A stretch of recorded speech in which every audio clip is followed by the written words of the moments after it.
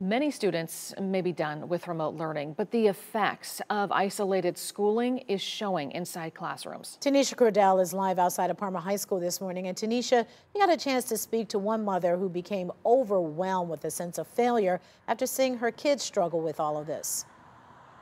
Yep, Danita, that's right. And we know, as we talked about before, she's not alone. Many parents right now juggling so much while also having concerns, wondering and hoping their kids bounce back from this pandemic wall they've seemed to have hit, whether it's just feeling unmotivated or struggling to get back in the groove to the way things used to be. A single mom raising three kids, one in high school, another in middle school, and the youngest in elementary there is that glimmer of hope. I, I hear that excitement in their voice. All three now adapting to more change, back in the classroom in Parma full time. I've seen a little bit one a change in their demeanor and their you know they're being more active they're you know being a little bit more outgoing but each of them still struggling one is even dealing with separation anxiety trying to get her acclimated of not wanting to leave school because she wants to come home all the time.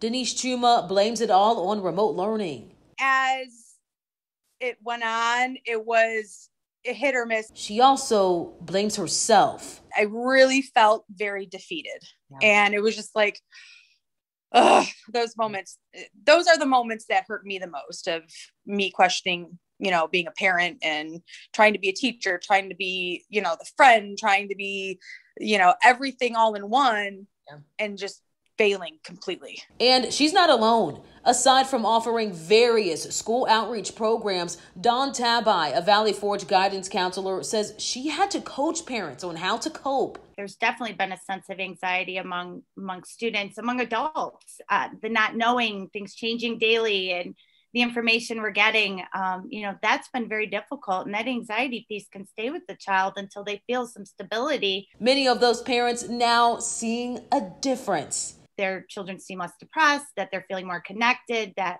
you know, they're coming out of their room more. They're starting to feel that same glimmer of hope Denise is feeling with in person learning. The staff all around in all schools have been really great. I appreciate my kids a little bit more. I do.